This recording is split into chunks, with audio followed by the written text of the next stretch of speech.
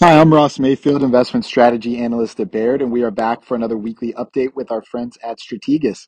Today, I'm thrilled to be joined by Chief Economist Don Rissmiller to talk all things markets and the economy. Don, how are you doing today? Very good, Ross. How are you? Doing really well. Thanks so much for joining us. Um, I want to talk kind of high level about what's going on with the Fed and the economy, but I, I want to set the table a little bit. So, the Fed is raising interest rates to reduce demand in the economy and thereby lower inflation, bringing demand down to meet supply. And a huge piece of where inflation is, at least domestically, is coming from the U.S. labor market. So, tight labor market, uh, high wage growth, high cost inflation, and therefore price price inflation.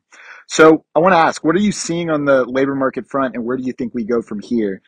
And if I can ask one more question, is it enough yet for the Fed to begin thinking about pivoting their strategy? Yeah, Ross, it's a really important question. So, the labor market in the U.S. has basically been overheating for most of this year. We have low unemployment. If we look at weekly jobless claims, those have been quite low, and we've been adding a substantial number of payroll jobs. From here, we're very likely to see the lagged impacts of prior tightening. So the labor market should start to slow down. We should start to see payroll gains slow.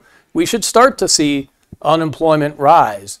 That's never a good thing to argue for job loss, but in this situation where supply and demand are out of balance, it's probably better to have that situation where we have a moderate rise in unemployment than to keep dealing with 8% inflation year after year after year and seeing that become entrenched. So it's really a choice between two bad outcomes, and it looks like the Fed is set here to risk a recession if necessary, to see some labor market slack develop, and to use that to tamp down inflation. So there will come a point where they can stop raising as aggressively. And we might not be there yet, but we're probably getting close. We probably don't need 75 basis point rate hikes meeting after meeting here, but that's still probably the default for the November meeting, unless between here and there we get some different data.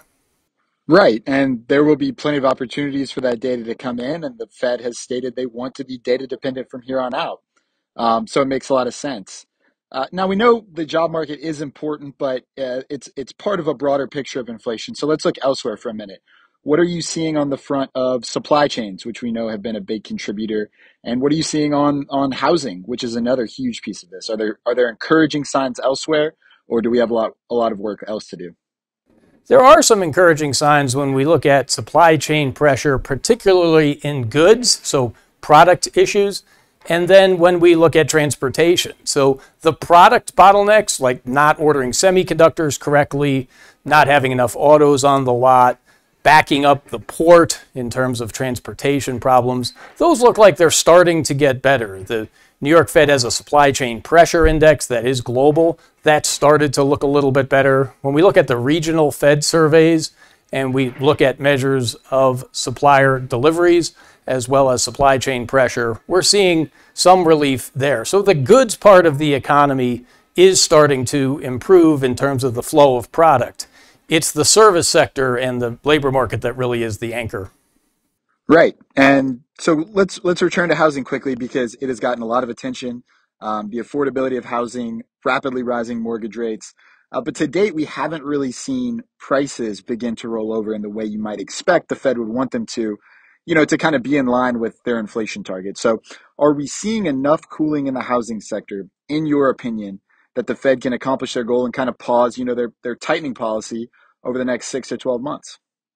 So we're not there yet, but if we give it six months, then it should look considerably different. The leading indicators, if we look at single unit housing permits as an example, have already started to come down. And we've seen some weakness in existing home sales, new home sales, mortgage applications for purchase, as well as mortgage applications for refinancing. So there's enough that is turning lower to say, okay, we've seen an inflection point in the housing market. We're just starting to see it in price, and this is after a very substantial increase over the past year. So, first, we'll see some moderation in those price gains. There may be areas where we actually see declines, but that's still ahead of us. Give it six to 12 months, and I think the home price picture will look very similar to the housing activity picture, and especially the leading indicators, uh, what have already been registered. All right. So, with all those kind of granular pieces talked about individually, let's pull it all together. Uh, we know that the first and second quarter saw negative real GDP growth. It sparked a conversation about whether we were in a recession or not. Um, how is Q3 shaping up, which is our current quarter? Um, should we be back to positive real growth in that quarter? And what is your outlook going forward from there? So Q3 looks like it's going to be positive. Tracking estimates uh, for the last few weeks have actually been increasing. If you look at something like the Atlanta Fed GDP tracker for this uh, quarter, so we've been bouncing around. The the reason the first half might not qualify as an official recession is we didn't have all of the parts of the economy weakening. Recessions are usually contagion events that spread throughout the economy. We had problems to be sure, but not those type of data series all hooking lower at the same uh, point. So we're still not out of the woods. The risks still skew to the downside simply because whatever this has been for the past three quarters, it's not enough to open up slack and to remove the pressure that the Fed is creating through their action. So if they're not done, then the downside risk is not done. So this will probably last into 2023 where risks will continue to skew to the downside until we're confident that inflation and inflation expectations are anchored. Well, we'll hope to talk to you again between now and then uh, to get the updated outlook. But Don, I, I want to thank you so much for the time today. And uh, as I mentioned, hope to talk again soon uh, shortly. Thanks, Ross.